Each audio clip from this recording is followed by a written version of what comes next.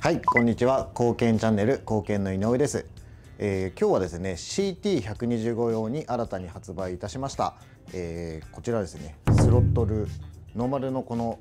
非常に回路の大きいスロットルをハイスロ化するハイスロキットですね。こちらボルトオンキットでエヴァテックから発売になりますので早速取り付けの動画を紹介していきたいと思います。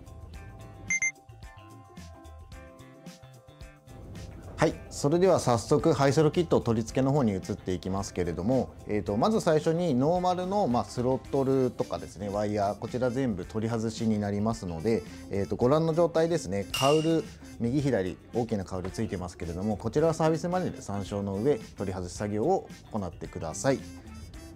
はい、えー、次に、えー、スイッチとスロットルが純正は一体になってますのでスイッチボックスのカプラーを取り外ししていくんですけれども、えーと、ちょっとこれマスターシリンダーがあブレンボに変わってしまってますので、えーと、省略になってしまいますけれども純正マスターシリンダーにつながっているブレーキスイッチの端子こちらも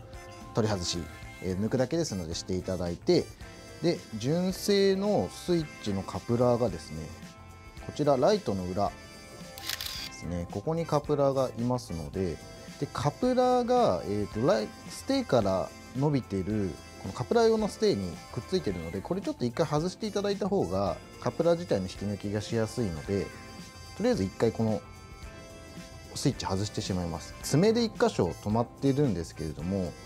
爪を押しながらカプラー自体を下に押してあげるとカプラーステーから抜けて少しここまで引き出せる状態に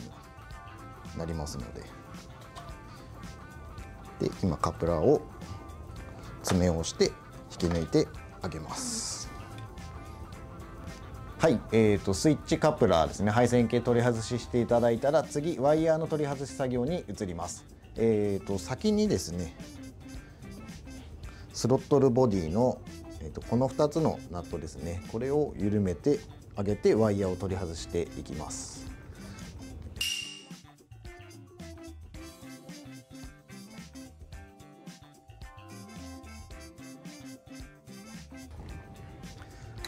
これでワイヤーの先端外れました。でそしたらワイヤーが通ってるコースにステーがあるのでここからまあワイヤー引き抜いていくだけですね。車両の前側に移ります。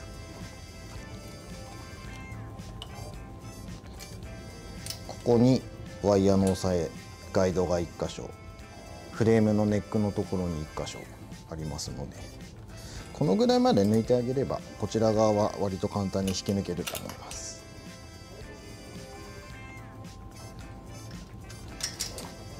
もう一本も同様に同じところを通ってますので。で組み付けの時も新しいワイヤー同じルート通しますので通ってるルート必ず覚えておいてください。はいで次スイッチボックスですね。この2本のプラスで止まってますので取り外しするんですけれども、えーと、ごめんなさい。1点。この車体にスイッチ組み付いた状態でワイヤー止めてるこちらのナットですね。この2個後で緩めるの大変なので先に緩めてあげてください。スパナで緩めてあげてで緩めた後スイッチボックスの取り外しにしていきます。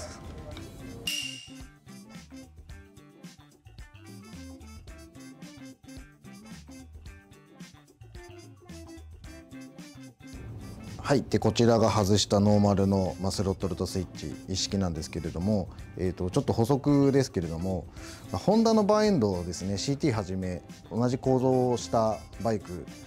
数種類あるんですけれどもまず取り外す時壊さないと外すのがちょっと厳しい構造になっているので、えー、ベッドを用意しておいていただいた方がいいものとして、まあ、バーエンドとスロットルですねこれ周り止めで純正このギザギザついてるのでまず純正のグリップを外してもう一度ハイセルキットに移し替えるっていうのは厳しいので新しい新品の付け替え用のグリップとバーエンドですね。こちら社外品のもので用意していただいた方がいいと思いますのでこの2点お勧めさせていただきます。はい、えー、それでは純正部品の取り外しが終わって実際にこのエバテックのハイセルキットの取り付けに移っていくんですけれどもえーとまあ、まずですね内容物としてはまあ、スロットルホルダーのアッパーロアですね。これとスロットルチューブと付属で使うネジ類。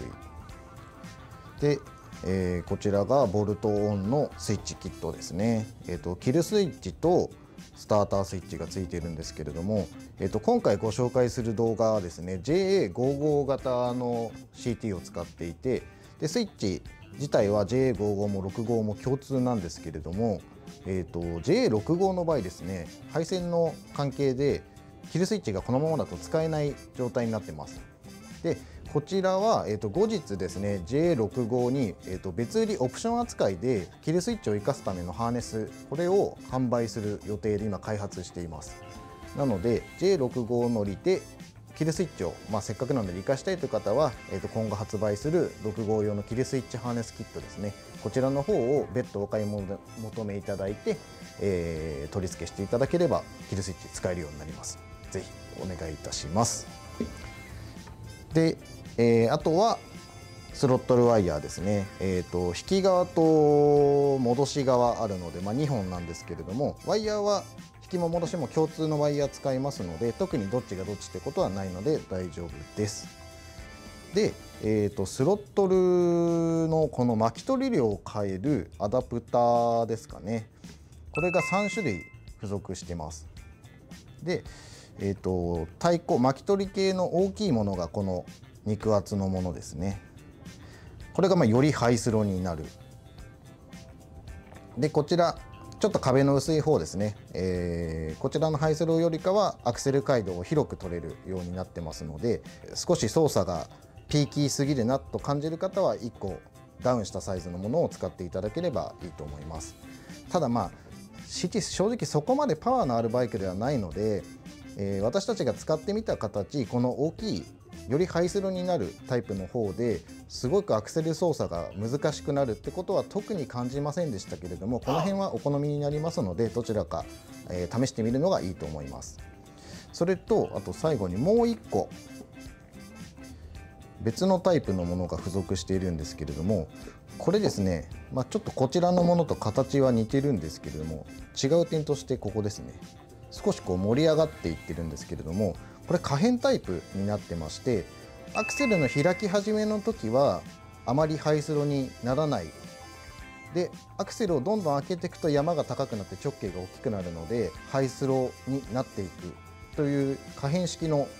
ものになってますのでえ、低速時にあまりハイスロにならずにアクセル開けていった時によりハイスロになるっていうタイプになってますのでこれもまあお好みで、あのー、自分のお好みに合わせて選んでいただけるっていうところが利点になってます。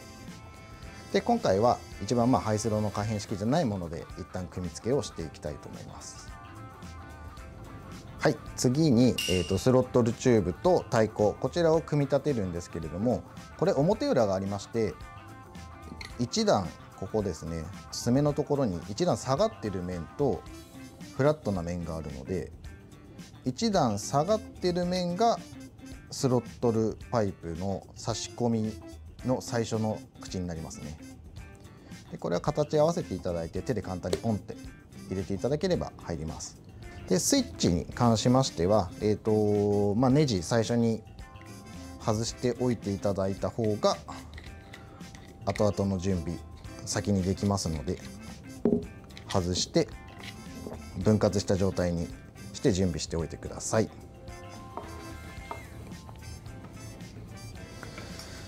でスロットルのロア側ですね。ここにワイヤーを先に留めておきます。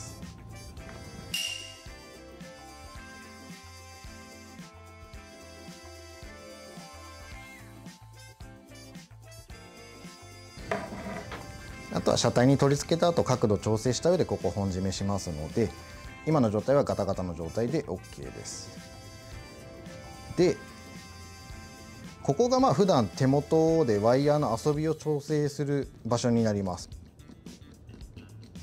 まあ、唯一車体露出してますしここで調整を取ることが基本的に一番メインの調整箇所になりますのでここを一番抜いていただいてこれもそうですね。こちら側にネジ56山78山ぐらい出してあげたところがだいたい半分よりねじ込み量が進む位置ぐらいなのでこのぐらいの位置で一回仮止めしておいてください。手締めで OK です。で次にワイヤーの真ん中。ここにもワイヤー調整がついてます。でここに関しては2個ともナットを、まあ、一山二山見えるぐらいのところで締め込んでおいてください。これ車体につけた後ここで基本的なワイヤーの遊びを取って、えー、ここまあカウルの中に入ってしまいますので後日調整するのは非常に困難な場所になりますので基本的には手元のアクセルのスロットル本体のところで調整取りますのでここは位置決めを大まかにしてしまって、まあ、カウルの中に隠れてしまう場所になります。で最後。実際スロットルボディにつくところですね。ここも CT にこのスロットルキットつける時ですね先端そうこれもやっぱり56山ぐらいですかね。出たこの状態のところぐらいで締めてあげると調整的にちょうどいい箇所にきます。はい。でワイヤーの遊び調整をあらかじめ取っておいたら次にスロットルパイプを今度は仮締めします。で先ほど組み立てたスロットルチューブとスロットルパイプですね。穴が上向きになるような位置で差し込んであげてワイヤーを太鼓のところに引っ掛けます。でワイヤーを今通した状態ですね。この状態でワイヤーが引っかからないようにアッパースロットルホルダーのアッパーをつけていただいて付属のこのテーパーボルトですね。これが本体の合わせボルトになりますので、まあ、こちらを本当に仮締めですね。ガタガタの状態で構いません。このぐらいまで。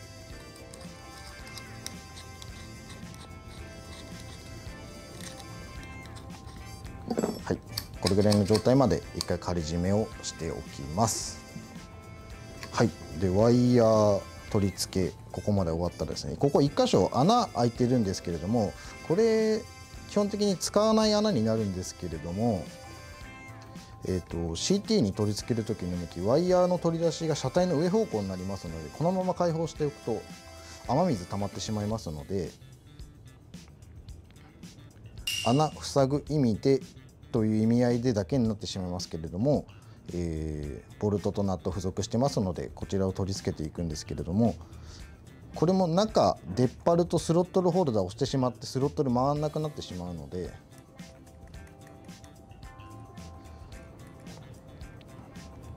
スロットルホルダーにネジ切ってる厚み分ぐらいで構いませんのでねじ込んででナットは緩まないように締めてあげます。でこれで作業台の上で準備しておくことは以上になります。あとは次車体に取り付けに移っていきます。はいじゃあ早速車体への取り付けにかかっていきます。でまず最初にスイッチから取り付けしていきたいと思います。で先ほど外したカプラーの車体側の半分ですね。これをもともとあったカプラーステイに最初に差し込んでおいてあげた方が作業しやすいと思います。なのでこのライトステイの隙間からカチッとはまります。でつけといてあげると取り外しの時にも説明しましたけど爪を押さないと抜けない構造になってますので、えー、ハーネス新しく取り付けるスイッチのカプラーをここ差し込んでグッと押し込む時に片手だけで作業できるので作業しやすいと思います。はい。でこちらエバテックのスイッチキットを取り付けていくんですけれども特に位置を気にする必要なく今の段階ではネジ仮止めしておきます。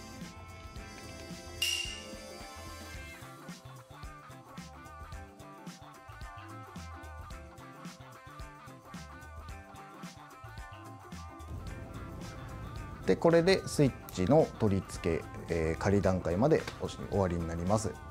したら次スロットル本体の取り付けに移りたいと思います。はいそれではメインのスロットルの取り付けに移ります、まあ、先ほど事前に準備しておいた状態で差し込みますけれども CT の場合取り出しが上になりますので、えーと、マスターシンダーレバーより上の位置で一旦スロットルを通してあげてで作業をする時にこれ回ってしまうと作業しづらいので一回これも回らないところまで仮締めしちゃいますね。微調整は最後また緩めて行いますので一旦この段階では適当に締めちゃいます。はいこれで回らないようなところまで締め付けました。そしたらですねノーマル外したところと同じコースでスロットルワイヤーを車体に通していきます。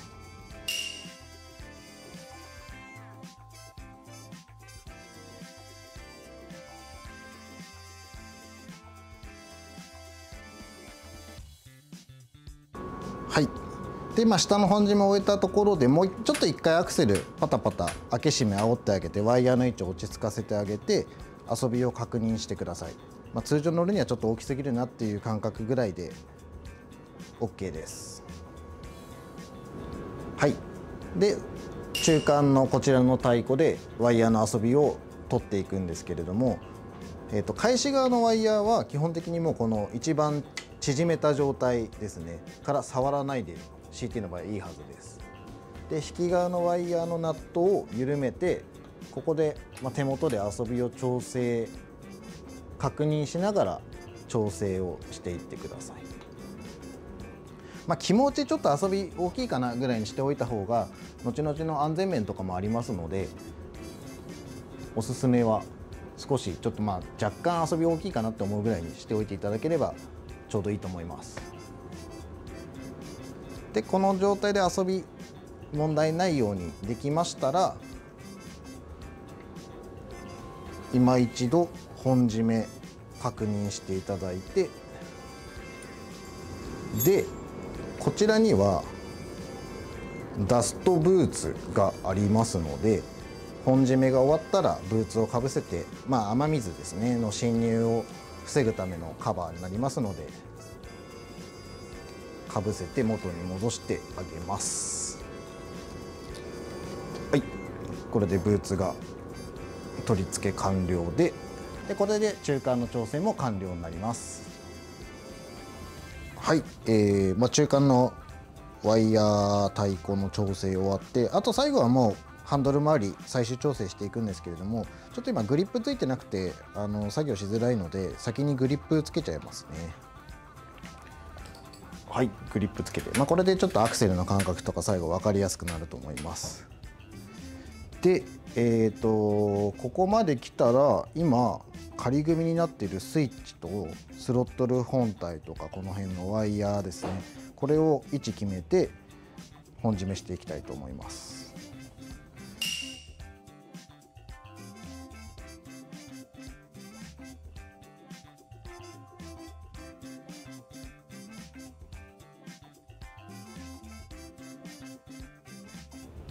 でここまでたら一通り取り付けは完了になります。で最後に確認していただきたいことがハンドル切りながら遊びがあることを確認していただいていますけれども返しのワイヤーがついてますのでアクセルを戻した時に強制的にスロットルが閉じる機構になってますので、えー、ワイヤーつける時に指で、ま開いた太鼓のところですね。ここでちょっと指でテンションを与えながらアクセル戻して強制的にストッパーに当たるまでアクセル戻るか確認してあげた方がいいですね。かつアクセル全開にした時に全開のストッパーにスロットルの金具も当たるかどうかですね、まあ、全開全閉きちんと機能するかここもスロットルを直接見て機械的にちょっと戻ってるか確認を取ってあげてください、えー、そこまで完了いたしましたらカウルを戻してハイスロキット基本的に取り付け完了になります。はい以上でエバテックのハイスロキットですね取り付けが完了いたしました。